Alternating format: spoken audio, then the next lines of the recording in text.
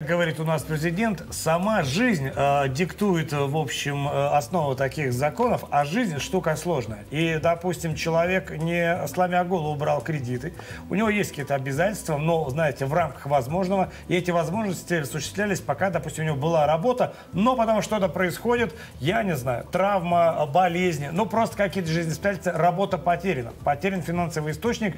Вот э, эта ситуация повод для банкротства, и э, в этой связи, ну, человек-то, в общем, вел себя по отношению ко всем разумно. И вот э, теперь э, такая история. Конечно. Вот это как раз э, процедура банкротства, она подразумевает, что нельзя прийти в суд и заявить, у меня просрочка, долги свыше полмиллиона рублей, я не хочу платить. В данном случае судья, конечно, не освободит гражданина от исполнения своих кредиторских обязанностей. То есть они его признают, как бы, ну, действует ненадлежащим образом, то есть недобросовестный заемщик. А всегда, всегда находится причина, по которой люди перестают платить свои кредиты. И знаете, есть сейчас еще в обществе такая а, стратегия поведения, как некая финансовая пирамида.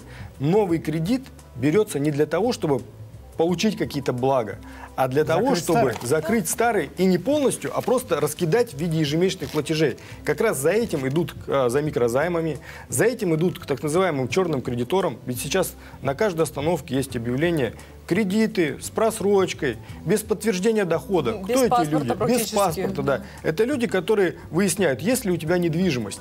Если эта недвижимость есть, они под залог этой недвижимости, это ведь тоже вид ипотеки, они выдают тебе займ. Ты с этим займом э, разбежал по всем банкам, раз, заплатил платежи, но потом рано или поздно черные кредиторы у тебя заберут эту квартиру, потому что их цель – это недвижимость, а не то, чтобы э, зарабатывать с тебя какой-то ну, процентный доход.